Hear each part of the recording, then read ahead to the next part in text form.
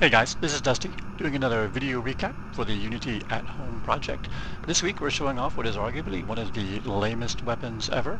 Uh, it's a, it's our first gun, but it's not even a real gun, it's like half of a gun, it just does the effects. Here, let's fire it once or twice and you'll see what I'm talking about. So yeah, so you, so you can see it's, it's working there. Uh, but there's a couple of systems that we got in place, and I want to talk about them briefly.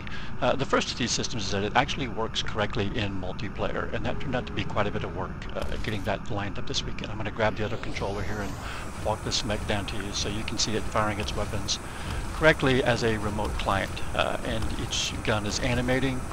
You see, you hear the sound effects fired from that mech. Uh, you can see the muzzle flash flare going off there as a part of the effects. Uh, it turns out um, getting that set up correctly was a little bit more uh, trouble than I had anticipated. Most of it had to do with trying to put uh, net-aware components, behaviors on sub-objects under the prefab. Uh, once I figured out that you can't do that uh, and spent a lot of time rummaging through the manual, I was able to sort most of those things out. Uh, the other kind of really important thing to talk about here is our effects package. Um, what I really wanted to do is to figure out a way to differentiate the uh, playing of the effects uh, to make sure that the effects are only played on the client while all the simulation of the weapon is done on the server. And I talk about that uh, in a pretty good detail in the blog.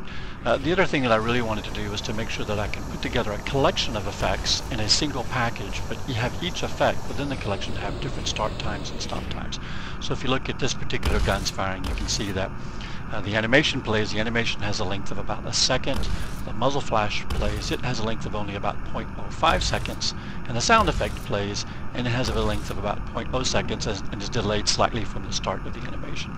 So this allows us to really chain together, I think, powerful effects, the system that we've set up, uh, so that we'll be able to uh, build things like chain guns and beam weapons and that sort of thing in the future.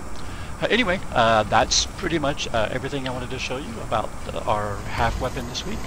Hopefully next time we'll be able to get some other stuff going.